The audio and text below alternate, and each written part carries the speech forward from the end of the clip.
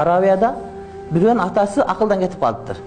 эстей албайт экен тамак жесе кайра тамак жей берет экен мечитке барып намаз окуп келсе кайра мечитке барып намаз окуп келе берет экен да эсинен чыгарып коюптур да анан атасы жанагы машинелер эсинен чыгарып коюптур о жаш убагындагы төбөлөр эсинде калыптыр да анан бирдене көрсө мухаммад десе төбөнү алып кел дейт экен да төбөнү алып кел дейт экен төбөгө минип мечитке барам дейт экен эми төө жок азыр заманда да городской болуп кетишкен анан атасы эсинде кичинекей бала калыптыр да анан эмне кылышты билбей жанагы баласы өзү келип төө келди деп өзү төрт буту менен туруп өзү төөдө болуп туруп берет экен атасы баласын минип алат экен анан баласы атасы баласын барып мечитке алып барат экен кээде саат түнкү саат экиде деле барып кое берет дейт да азыр бешим окуйбуз барып имам деле карайт өзү намаз окуп кайра кеттик мухаммад төбөнү алып кел дейт экен анан бала ушунда отурса атасы экен кайра алып келип ошентип он жыл атасын карады дейт да